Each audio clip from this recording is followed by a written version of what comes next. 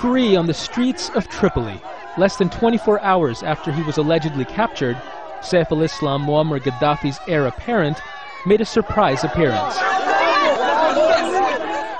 Surrounded by supporters, his presence was a boost to the morale of pro-Gaddafi forces. They've been making what many thought was their final stand, but he's keen to show the government is still in control. Speaking with the press, he poured scorn on his enemies. First of all, I'm here to refute all the rumors and reports. NATO used its most sophisticated technology to block all our communications. They sent text messages to the Libyan people. They interrupted our TV broadcasts. They waged an electronic media war against us to scare our people.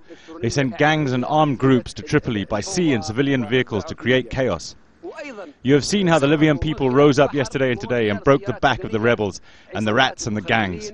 I'm going on a tour of Tripoli now and will visit all the hotspots. You will see, everything is normal. Saif al-Islam rallying armed supporters in the Libyan capital. This isn't something the opposition or their NATO allies wanted to see, and it seems it's not something they were expecting.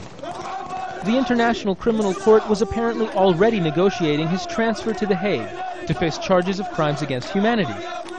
And in Benghazi, the opposition has been preparing for a post-Gaddafi Libya. And now I say with all transparency that the era of Gaddafi is over. While it looks like the opposition fighters may have the upper hand, this defiant gesture by Saif al-Islam shows the conflict could still be full of surprises. When asked what he thought about his pending transfer to The Hague, damn the commission, he says. A parting shot from the defiant son. Zain Basravi, Al Jazeera.